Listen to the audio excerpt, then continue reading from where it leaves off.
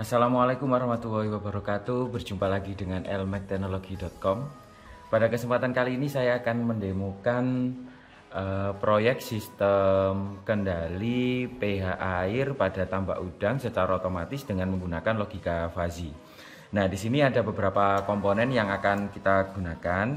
Yang pertama di sini mikrokontrolernya kita menggunakan ESP32 Kemudian untuk sensornya kita menggunakan sensor suhu dan sensor pH ya. Untuk sensor suhunya kita menggunakan DS18B20.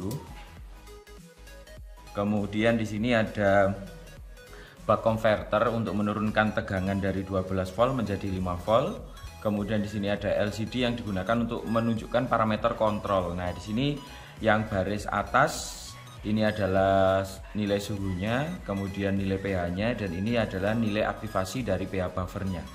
Nah, aktivasi di sini artinya apa? Bahwa e, untuk pemberian buffernya itu tidak bisa langsung diberikan seketika, tetapi e, kita kasih durasi waktunya untuk menentukan e, agar cairan buffer tersebut sudah larut dalam airnya. Nah, di sini kita setting dalam setiap satu menit maka e, buffernya akan aktif untuk perubahan waktunya bisa disesuaikan melalui by, uh, by programnya ya. Nah, kemudian di sini ada pH up dan pH down. Nah, ini yang dimaksudkan adalah untuk menentukan banyaknya pH buffer yang keluar. Jadi di sini ada pH up ini adalah buffer untuk menaikkan nilai pH-nya dan untuk pH buffer down adalah menurunkan pH pH apa itu namanya menurunkan pH airnya ya. Nah, ini untuk 20 ini adalah berapa mili atau berapa cc e, cairan dari buffer yang akan keluar. Kemudian ada juga ini ADS 115 di sini untuk membaca nilai analog dari sensor pH-nya. Kemudian ini ada relay, tiga relay ya. Relay yang satu ini digunakan untuk suhu, relay yang yang kedua ini untuk buffer up dan ini untuk buffer down. Nah untuk monitoringnya bisa melihat secara otomatis di tampilan websitenya ya teman-teman. Nah di sini kita bisa menambahkan usernya yang bisa memonitoring device-nya namanya username siapa dan passwordnya apa gitu. Nanti kita bisa monitoring di sini. Kita juga bisa menambahkan usernya Sekalian kita juga bisa melihat data secara real time ya berupa grafik dan indikator suhunya. Kemudian untuk programnya di sini kita menggunakan logika fuzzy ya teman-teman pakai uh, tipenya pakai Sugino.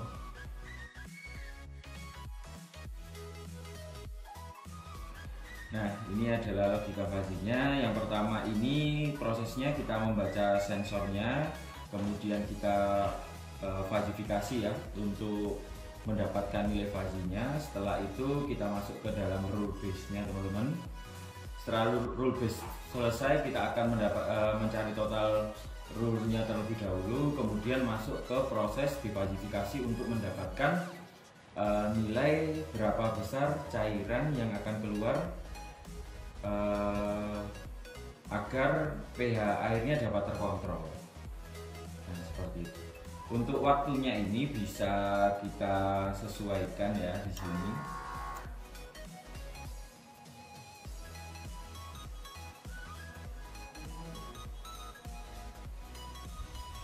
kita cari durasi.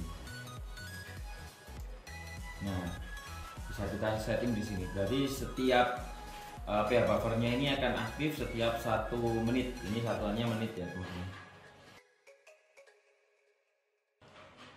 Oke. Nah, sekarang kita coba ini ya.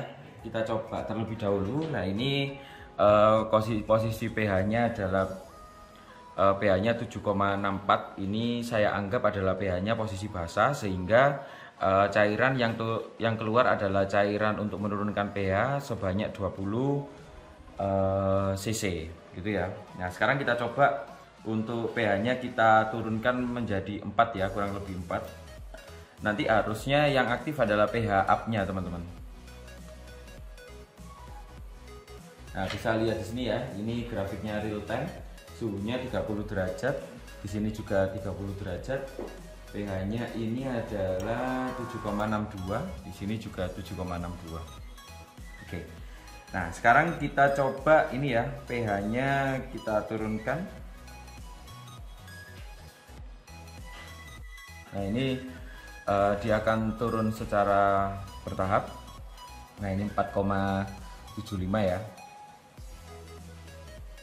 Nah, ketika 4,75 maka pH up-nya ini akan naik teman-teman uh, akan keluar sebanyak 50 cc teman-teman.